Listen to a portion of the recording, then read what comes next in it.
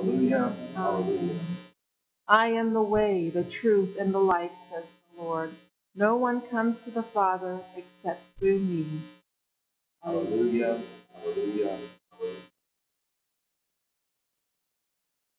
The Lord be with you. A reading from the Holy Gospel according to Luke.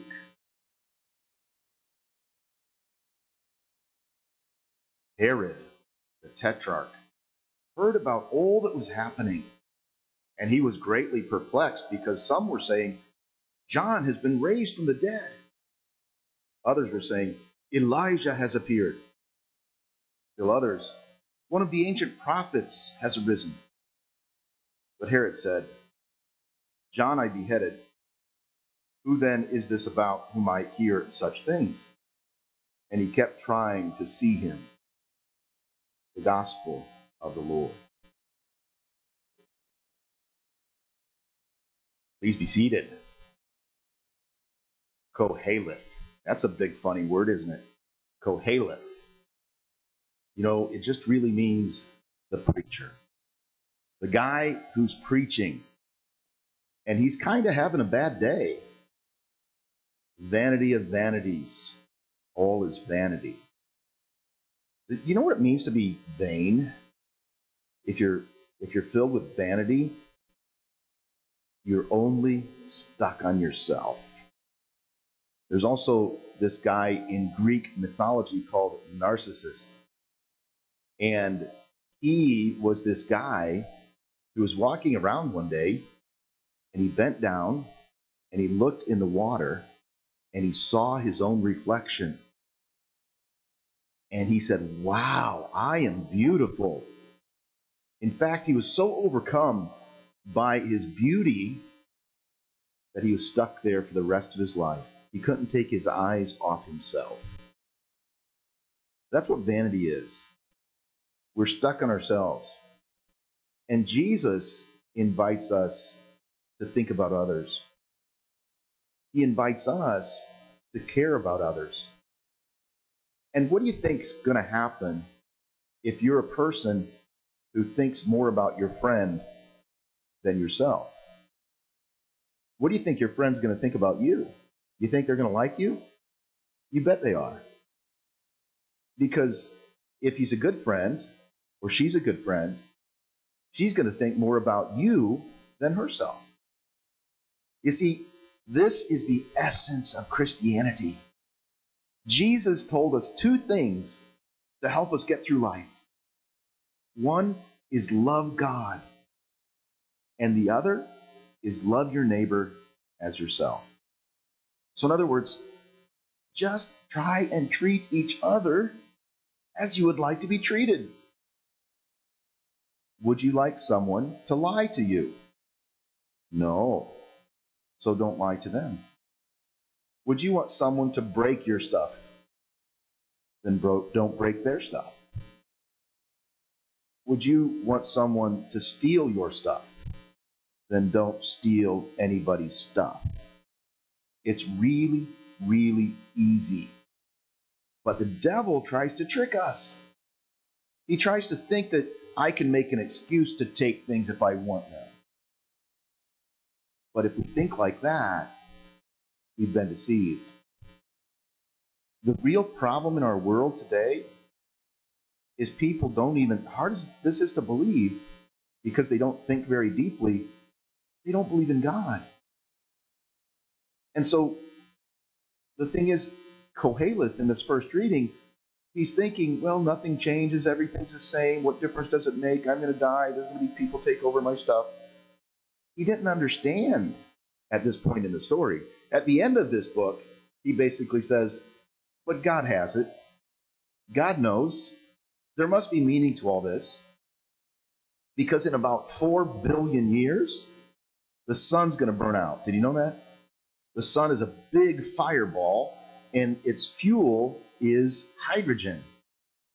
And that hydrogen is going to run out someday in about 4 billion years. And so God created us to be eternal. So hopefully in 4 billion years, we can all get together in heaven if we trust God and accept his ways and don't reject him. We'll be in heaven.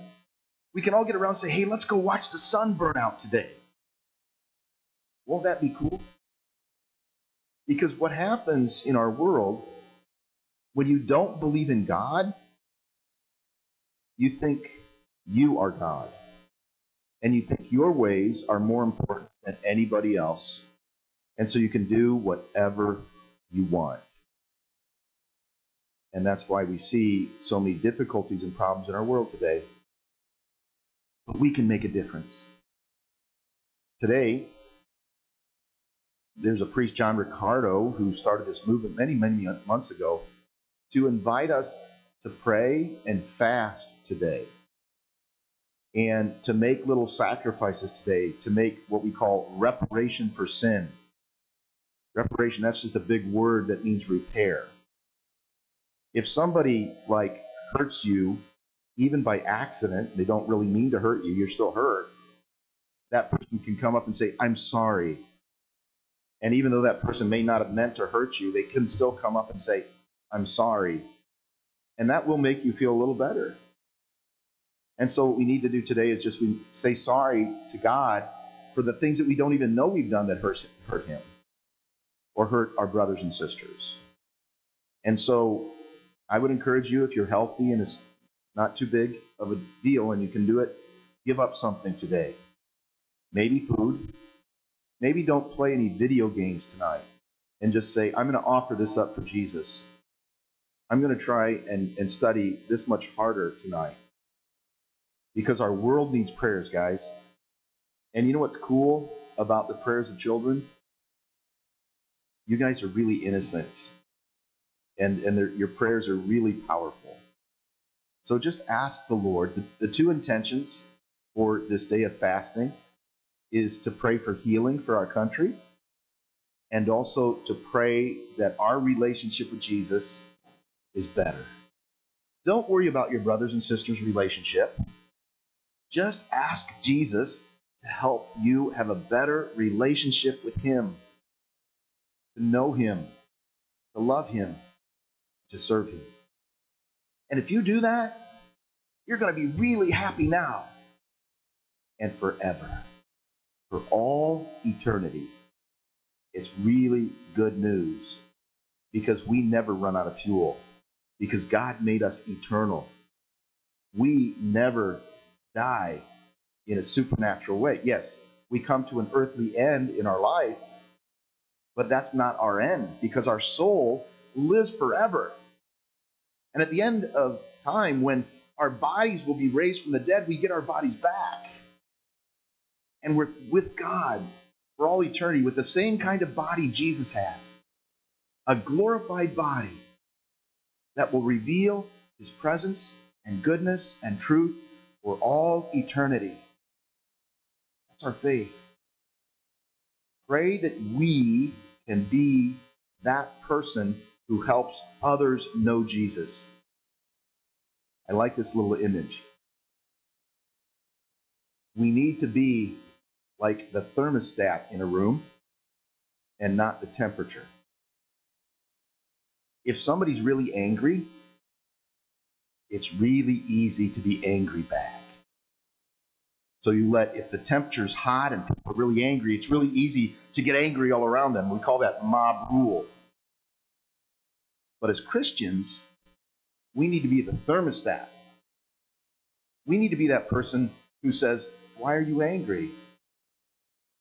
Let's ask the Lord to help us fix this and you can bring down the temperature in the room, but you need virtue. Virtue is just good habits. The bad habits are called vices.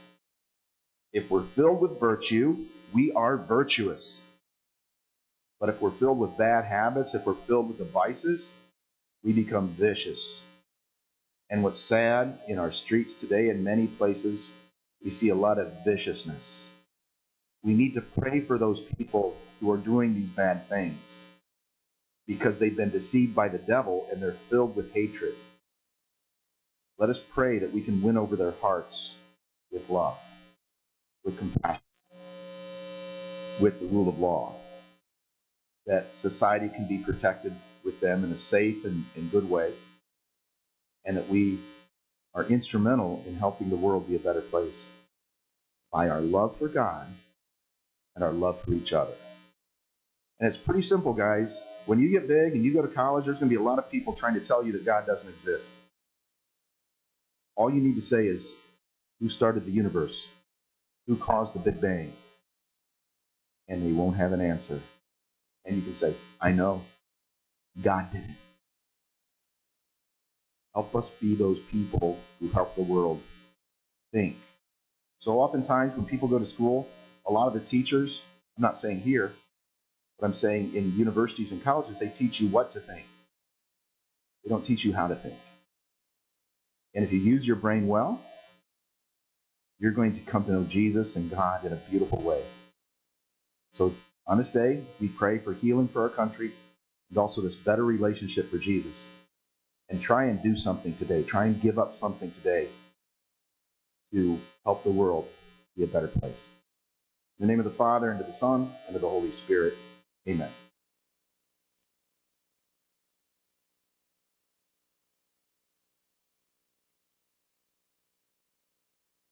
Let us stand as we bring our prayers of intercession before the Lord. We pray for the church, that she may be a light to the nations and a guide to all peoples. We pray to the Lord. All nations throughout the world, that they may know and serve the common good and not be motivated by greed and self interest. We pray to the Lord.